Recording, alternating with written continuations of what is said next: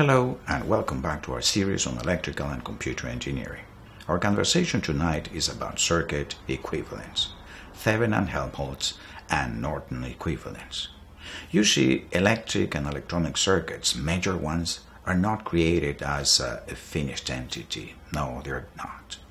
They are designed, built, and tested one part at a time. And with each new part, we bring it in, plug it with the tested part at two nodes, and then solve the entire network to check its correctness. At one point, the whole network has so many nodes, so many branches, and so many components that even the brainiest and most powerful of our computers would crawl down through its solution and sometimes just stop dead on its track, overwhelmed by the complexity of the whole circuit. In these cases, simple series and parallel simplifications, even when augmented with wye delta conversions and source transformations, is just not enough. In these cases, we need to bring in the cavalry. We need to bring in Thevenin Helmholtz and Norton equivalents.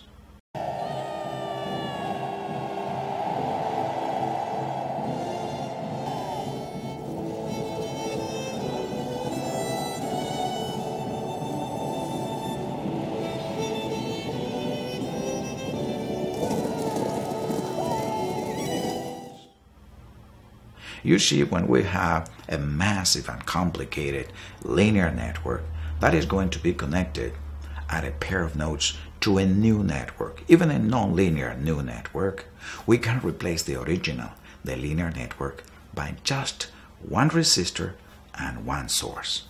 No kidding. Awesome, huh?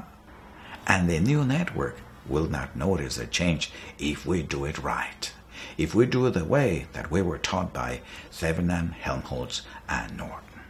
Are you not chomping at the bit to see how this is done? If you're a little bit like me, I'm sure that you are. So let's begin. Real life circuits are large, they are huge, but the good news is they are built one part at a time. They build first a little part, test it, and then they build a second part, connect that to the existing and already tested one, and test the whole thing again, and so on and so forth until they finish the whole circuit. We do not need at every stage the whole detail of the circuit simulation. We don't. What we need is the detailed behavior of only the new part that is connected to the part of the circuit that has already been proven right, proven correct. Wouldn't it be nice if we could replace all the part of the circuit that has already been tested by a simple equivalent circuit so we could concentrate the power of our computer on only that new part of the circuit that we have just introduced? Well, guess what?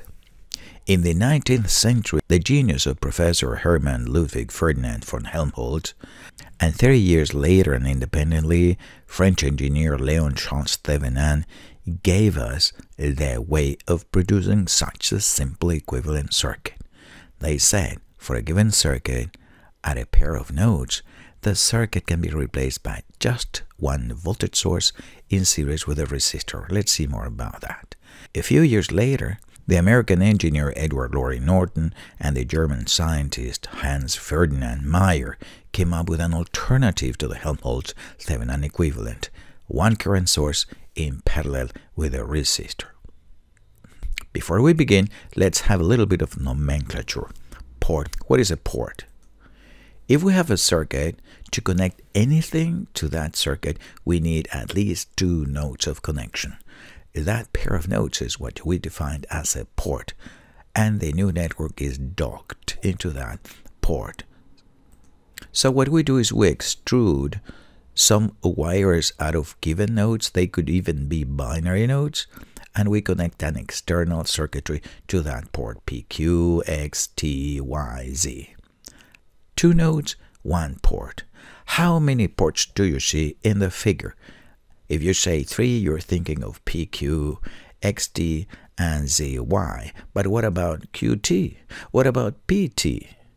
thinking with that way, you realize, hmm, this reminds me a little bit of high school combinatorics. What we need is to find a way of counting how many combinations, two at a time, we have out of six nodes when the order is not important. That was 15 possible ports given six nodes. And now we introduce four more ideal circuit elements. First one, the open circuit. A few lectures ago, we introduced the ideal resistor, the ideal inductor, and the ideal capacitor, along with six different types of ideal sources. Today, we bring in other four ideal elements. The first one is the ideal open circuit. An open circuit is defined by its behavior. What behavior is that? Its current is zero at all times. What symbol we use for an open circuit? Just a hole in the branch where we put the open circuit like that. The current is zero, and the voltage across the open circuit is what we call the open circuit voltage VOC, just like that. Another element, the short circuit. It is an element represented by its behavior. Its voltage is always zero. The symbol we use is just a wire between the two nodes at which we're connecting that short circuit. The voltage across it is zero, and the current through it is what we call the short circuit current, and that port I sub SC. The ideal ammeter. The ideal ammeter is a short circuit that displays its current. That's correct. Its voltage is zero because it's a short circuit. And the symbol? This is a symbol of an ideal ammeter connected between those two nodes connected at that port. It's telling you what current flows through that, and the voltage across it is zero. A real ammeter has um, an internal resistance that is not quite zero, but is very tiny, probably a few micro ohms. The ideal voltmeter is an open circuit that displays its voltage.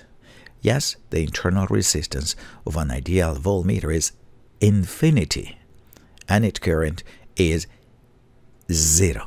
It is ideal, all right? The symbol? This one or that one. The point is the current through an ideal voltmeter is zero. Its internal resistance is infinity. A real voltmeter is not quite like that but it still has a huge internal resistance, somewhere around several hundreds of millions of ohms. So the current is not quite zero, but it's very, very tiny. Now, back to our regular programming. Helmholtz and Thevenin said pretty much something like this. Given a linear network and a port, we can represent that network and that port by one voltage source in series with one resistor.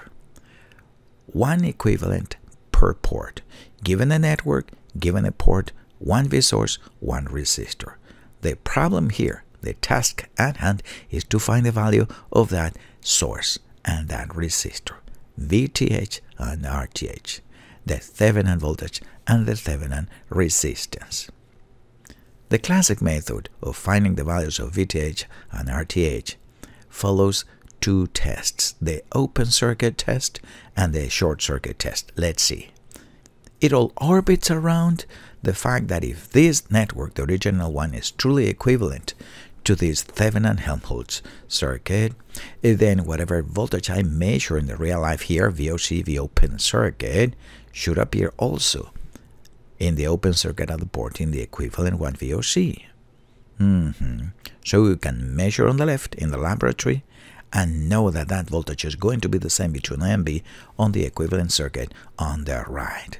But uh, what else we can conclude? We know that the current through an open circuit is zero, so the voltage in that resistor, given Ohm's law, has to be zero volts. That allows us to write a KVL equation in that loop and determine that the voltage of the internal source, VTH, has to be the voltage VOC that we measured from the original circuit in the laboratory. So there's your way of finding VTH. Just measure VOC in the lab at the open circuit port And that is the value of the V-Thevenin source in the equivalent circuit. Piece of cake. That can be written like this. In the original circuit, the one on the left, measure the open circuit voltage at the port. That gives us directly what should be the equivalent voltage source value V Thevenin on the right. But you're thinking, wait a minute, what if I don't have a prototype I can measure voltages out in the lab? What if all I have is a circuit schematics on paper? Well, in that case, instead of measuring, you compute the open circuit voltage using MNA or any other technique at that port. And that open circuit voltage is V Thevenin the value of the source in the equivalent circuit. This is what we call the open circuit test. Now that we know VTH, how do we compute the resistance RTH? Along the same lines, we say if the original circuit is truly equivalent to the Thevenin-Helmholtz circuit, then if I short the original circuit in the lab and measure the current, the short circuit current, that should be the same current that flows in the Thevenin equivalent if I short circuit it. Oh, so I measure the short circuit current in the lab in the real thing and uh, say that in the equivalent one the current should be the same short circuiting. But in the equivalent one, that current is given by Ohm's law. That current is V Thevenin divided by R Thevenin. Correct. We know I short circuit because that value was measured in the lab in the real circuit's short circuit. And we know V Thevenin that we obtained from the open circuit test. So we solve for R Thevenin and find that R Thevenin is the open circuit voltage divided by the short circuit current. So check this out. This is the way of finding R Thevenin. In the real circuit, in the laboratory, we measure the short circuit current and then use that with VOC to find R Thevenin. That belongs in the equivalent circuit. In words, in the original circuit, measure the short circuit current at the port. Then divide the already known V Thevenin by the measured I short circuit to get the equivalent R Thevenin. Wait a minute, what if we don't have a prototype? Oh, easy. Instead of measuring, we compute using MNA or any other method what is the short circuit current and proceed along the same lines. This is what is called the short circuit test. Now let's go to the laboratory, to a virtual laboratory. And patience, we will do this on paper in a minute or two, but first, just to emphasize the procedure open circuit, short circuit, let me do that in a virtual lab. Measure VOC and then measure ISC. For this circuit, two sources, one V source 10 volts, one I source 7 amps, two 6 ohms resistor, one 4 ohms resistor. We want the Thevenin Helmholtz equivalent and the port A B. So we want VOC, the open circuit voltage at A and B, and then the short circuit current between A and B. Let's do that in the laboratory. Let me wire the circuit with the source, one resistor, the other one, the vertical current source, and the vertical resistor. Let me move this resistor a little bit to the right to make room.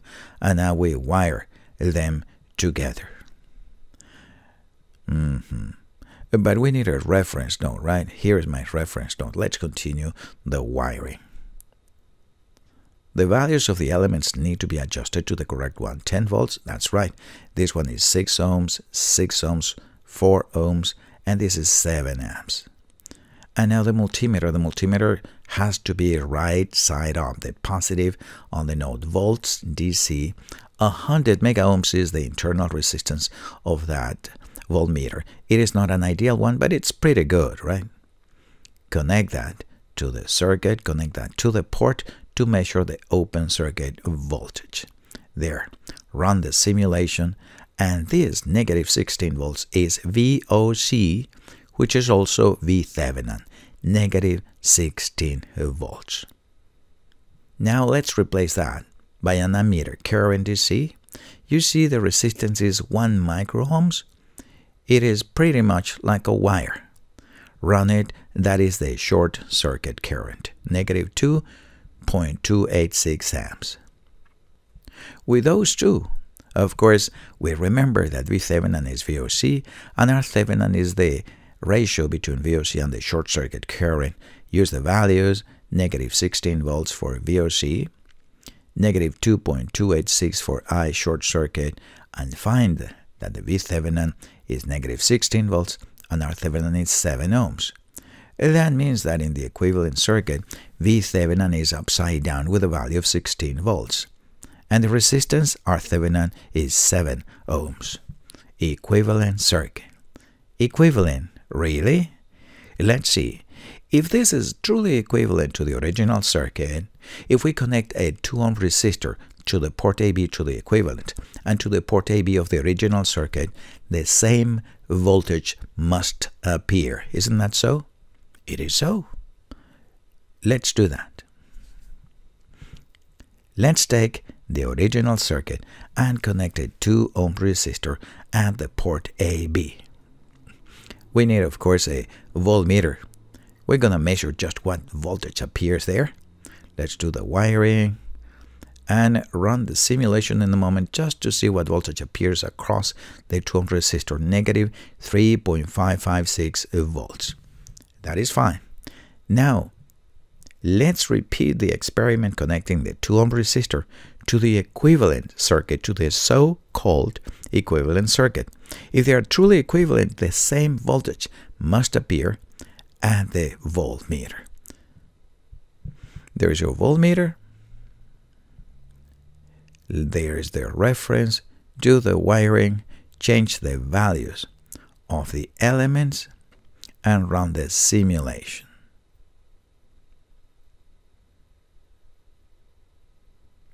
Changing the values. This is 16 upside down, 7 ohms, and 2 ohms run. Negative 3.556 volts. The same voltage appears. So it seems that this circuit is truly the equivalent of the original circuit at that port. So let's uh, recap what is the classic method to find V Thevenin and R Thevenin.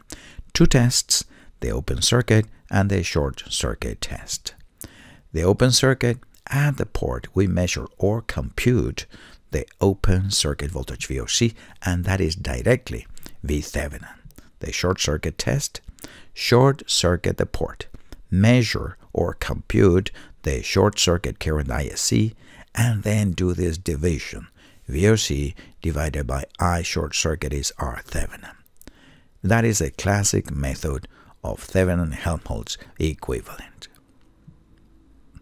But now let's say uh, that we don't have a prototype for the circuit, so we don't measure VOC, we don't measure I short circuit, we solve for them on paper. Here we go. First we go for VOC. To find VOC at AB, choose a reference identify the nodes 1 and 2 in this case, branch currents, write your equations, right? 1 and 2, 1 for node 2 and 1 for node 1. Please check them out. Yeah, the one for node 2, 10 minus V2 over 6 is the current on the left.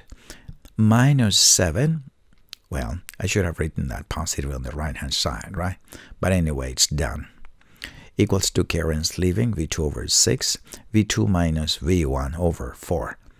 Uh, the KCL equation for node 1 is currents entering node 1, V2 minus V1 over 4 equals to 0, the open circuit current here. Solve for them. There. V1 is negative 16 volts, but V1 is V Thevenin, negative 16 volts, same as before. So you see, this is how we do these things on paper. Now let's find the short circuit current. Short circuit. This is my reference, so the top there on the right is also the reference. Identify other nodes. Only one, branch currents, and write only one KCL equation in this case, right? Currents entering 10 minus V1 divided by 6, leaving 7 V1 over 6 V1 over 4, solve for V1. And then we find I short circuit, which in this case is the current in this 4 ohm resistor, which is this current V1 over 4. and we know V1, compute the short circuit current negative 2.286 amps, same as we did in the circuit simulation. And that's we do those things on paper. Now let me give you a very useful technique, but unfortunately it works only sometimes. If all the sources in the circuit are independent, in that case, instead of doing a short circuit test to find R Thevenin, no, we just kill the sources and whatever equivalent resistance we see at the port, that is R Thevenin. What about the open circuit test? No one will save us from the open circuit test. We still need to do the open circuit test to find VOC and with that V but no short circuit test for these circuits. Kill all the sources, find the equivalent resistance. Let's do that for this circuit. Kill the source, the voltage source becomes a wire, right, like so. The current source becomes an open circuit. The equivalent resistance seen on the port is 4 in series with 6 in parallel with 6, which is 3. 3 and 4 is 7. 7 is the Thevenin resistance. Unfortunately, it is very sweet method works only when all the sources are independent. Tutorial time? Let's find the Thevenin equivalent of this very simple circuit. Find VOC at the port AB. Sure. Instead of solving that with a MNA, I will say I can use um, a voltage divider and find VOC would be 15 times 60 divided by 160 and that is 5.625 volts. That is VOC, that is VThevenin. And now the short circuit. Find the short circuit current. Okay. That current is going to be, let's say, let's say I need this short circuit current, right? Reference, but this is also the reference. So the current on the left, I sub A, is reference voltage minus reference voltage plus 15 divided by 100, and that is 0.15 amps. Mm -hmm. That current arrives at the top and finds the current divider between the 60 ohm resistor and the 0 ohm short circuit. We use a current divider there and say the current here on the right, the short circuit current, is the total current 0.15 amps multiplied by the resistance in the other branch 60 divided by the sum of the resistance 0 plus 60 that is 0.15 amps. All the current goes through the short circuit. And that's how we find that. Now, R Thevenin is VOC 5.625 divided by the short circuit current 0.15 amps and that is 37 and a half ohms. That is not the only way of solving that, of course. We could have said something like this. Something like this. What is the current IB? Oh, that current is the current in an R branch connected between the reference and the reference. And that, of course, is 0. 0 minus 0 divided by 60, 0 amps. And then we use KCL. And this little Gauss surface will say I short circuit is I sub A plus I sub B, and that is just 0.15 amps, and the rest is the same. Now, to finish the circuit, we always have to draw the equivalent circuit. There's your VThevenin, 5.6 volts. There's your RThevenin, 37.5 ohms. The second part, the short circuit test, we could have um, obviated if we just had noticed that the only one source is an independent source, we just kill that source and find the equivalent resistance, which is 60 in parallel with 100 seen on the port.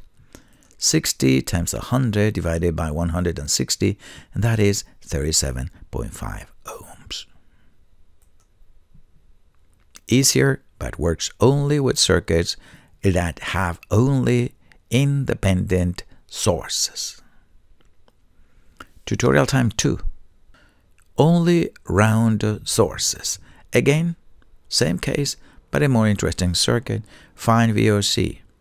Fine. Reference node 1, node 2. Branch currents. Write your equations. There is no CTL equation. There is no evil equation, only two KCL equations for node 1 on the right. Check it out.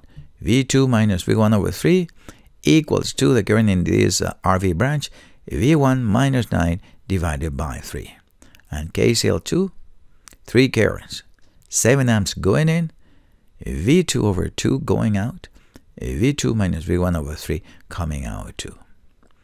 Enter that in the calculator, solve for that, and we get that V1, that is VOC, is 10.875 volts. And that is just V Thevenin according to what we've seen before. So much for V Thevenin, right? Let's find R Thevenin. For R Thevenin, because the circuit has only independent sources, we do not need the short circuit test. We just kill the sources. The 7 amp source becomes an open circuit, the 9 volt source becomes a short circuit. And the equivalent resistance at the port AB is this 3 ohm resistor in parallel with a series of 3 and 2. You say, wait a minute, how is that? Well, because there is no current in this 2 ohm resistor, I can obviate that. Delete, delete. Now it's clear, right? The equivalent resistance is 3 in parallel with 5, which is 1.875 ohms. And that is the equivalent Thevenin Helmholtz circuit for the original one. Thevenin voltage 10.9 volts, Thevenin resistance 1.9 ohms. Tutorial time 3. This is a weird circuit.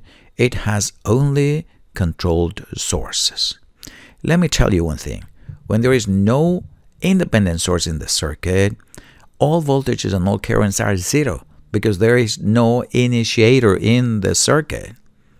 The voltage, VOC, has to be zero. What?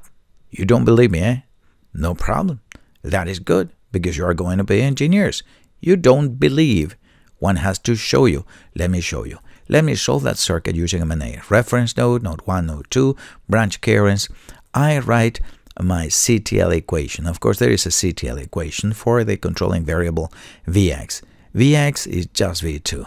And then KCL equations for node 1 and node 2, enter them in the calculator, solve for them. And look, V1, which is VOC, is 0, and that is Thevenin. That is Thevenin.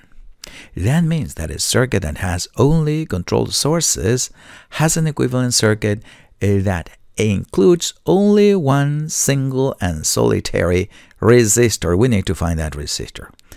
If we were to apply a short circuit test to that circuit, the current would be zero, and we would be nowhere near to finding R Thevenin. We cannot divide zero by zero. So what do we do? We observe that the equivalent circuit is going to be something like this, only a resistor. How do we find that? Well, if we apply, for instance, a current source of a known value like 1 amp, that 1 amp current will produce a voltage drop in the resistor of VA, which is 1 amp times R Thevenin, right? The voltage that appears has the same numerical value as the resistance because the current is 1 amp. You say, that's how I'm going to find R Thevenin. Apply 1 amp to the actual circuit, measure the voltage, and that voltage VA is going to have the value of my internal R Thevenin resistor. Apply 1 amp and solve for VA. Let's see. Reference, right? Nodes 1 and 2, branch currents, and I write the CTL equation and the two KCL equations, solve for, and find that V1, which is VA, is 1.219. V1 is VA, and VA is the value of R Thevenin, 1.219 ohms. That is the Thevenin equivalent of this circuit at the port AB. Tutorial time 4. This is a circuit that has everything on the cook in it. Controlled sources, independent sources, and a bunch of resistors. Let's find VOC. MNA, reference node, node 1, node 2, branch currents. A CTL equation for Vx. Vx is V2.